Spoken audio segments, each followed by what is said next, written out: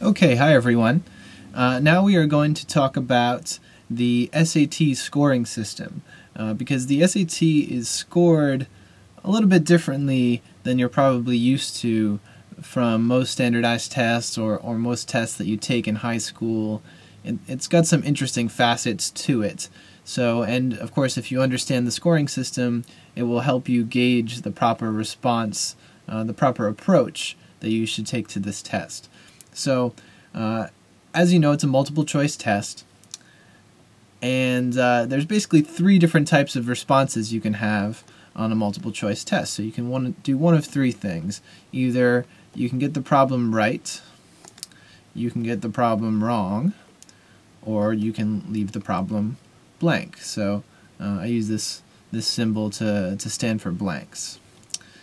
So, and then the amount of points that you get is dependent upon your response.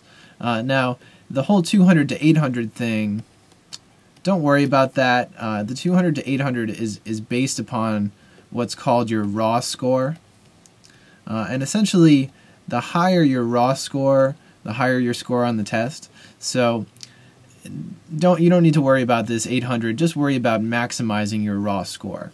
Uh, so here's what you get in terms of your raw score, depending on your response to the question. So if you answer a problem correctly, you get plus one point on your raw score. If you answer a problem incorrectly, you get minus a quarter point off your raw score.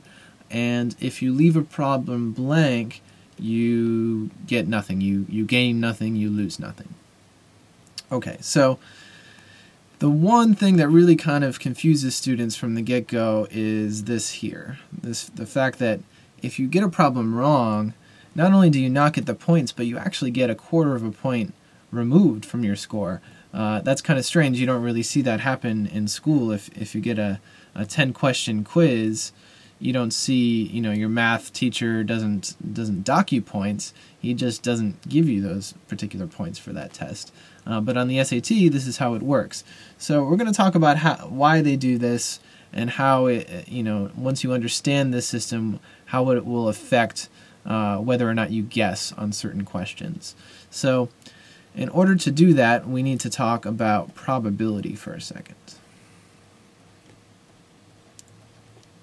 Okay, so I'm writing A, B, C, D, E uh, to sort of represent the typical typical SAT question with five options, right? Uh, now, for those of you who have studied probability, right, uh, you, you could tell me that if you guessed completely randomly on any particular question, you have a probability of one-fifth of getting that question right. Okay, so that's important because uh, we want to consider a certain scenario, and I'll show you how it kind of plays out and, and how this how the scoring system affects the way uh, that your score is, is calculated. So let's say that uh, you're taking a test and uh, you look up at the clock and you only have 30 seconds left. Uh, and then you realize that you actually had five questions to go. Right? So you're taking the SAT, you have five questions left, and only 20 or 30 second, uh, seconds to finish them. So you don't, uh, you don't, you really don't have enough time to look at them closely. You can either guess or you can just leave them blank. Uh, so let's say that you decide that you're going to just guess on those five questions, right? Now, probability says that one out of every five times you're going to get uh, this question right. So let's say that on the first question you get it right, and then on the next four questions, you get them wrong. Okay, so you get plus one point, minus a quarter point, minus a quarter point, minus a quarter point, minus a quarter point. Well, what does that add up to? Well, if I give you a dollar and then I take away four quarters, guess what? You get nothing. So, this zero, right, is the reason why they actually take off a quarter point. Uh, because they, what the SAT wants to do is they want to remove any benefit that you might get from randomly guessing, right? From randomly guessing. Right? Now, not every guess is a random guess.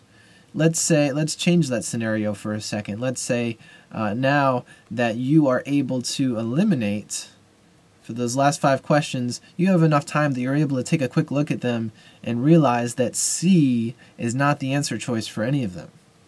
Okay? If you know that C isn't the answer choice for any of these, then all of a sudden your probability is no longer one fifth, but one fourth. Right? Meaning you're going to get one out of every four questions right. All right? So then instead of getting one right and four wrong, right?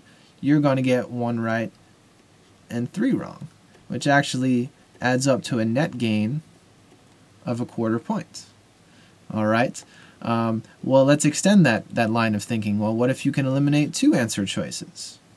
Well, that means that you're going to get one out of every three questions correct. Right? So then all of a sudden, we can eliminate this fourth choice, and for every three questions you answer in that manner, you will gain a half of a point. And then uh, the next best thing to getting a problem right is to be able to eliminate three of the answer choices and get it down to two. Uh, if you get it down to two, then all of a sudden you're getting one out of every two problems right. So for every two questions you answer that way, you are gaining three quarters of a point. So as you can see, uh, what happens to a lot of students when they when they see that you get this minus a quarter point off is what they think to themselves is, well, gosh, I don't want to lose points, so I'm not going to guess unless I, I definitely uh, unless I definitely know the answer, right?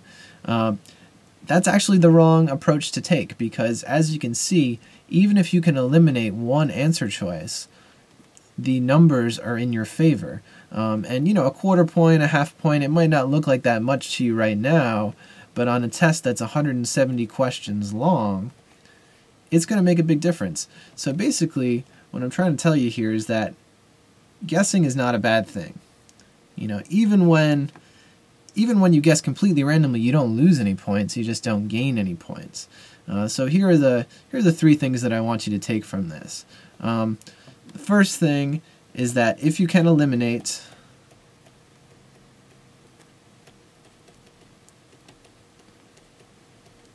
guess.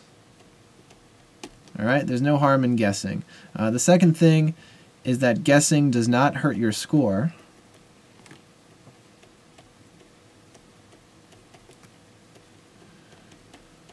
But that doesn't mean that you should answer every question. Uh, the final thing that I want you to realize is that is that although guessing doesn't hurt your score, it doesn't mean that it's necessarily in your best interest to answer every question.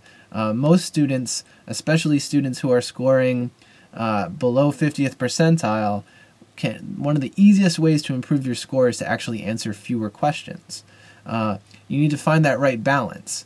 Um, if you skip some questions, what that does is it gives you time for the other questions. Uh, you can avoid the harder questions and thus get yourself a higher score. So, the one thing that really does hurt your score uh, is wasting time. So we're going to say wasting time on the wrong types of questions.